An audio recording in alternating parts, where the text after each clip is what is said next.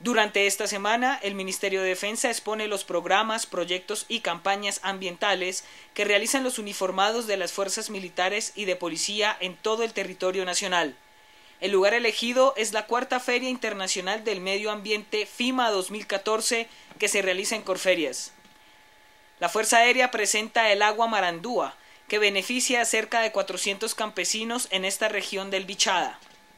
El proyecto eh, Agua Marandúa es una procesadora de agua que tenemos allá en el departamento del Bichada,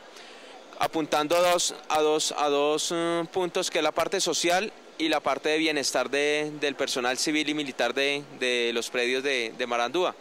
Por su parte, el ejército presenta los modelos de unidades militares que utilizan energía solar para la iluminación interna y externa de los batallones, una tecnología utilizada en 50 edificaciones militares en todo el territorio nacional. La Policía Nacional cuenta con el primer laboratorio en Latinoamérica dedicado al estudio de especies silvestres.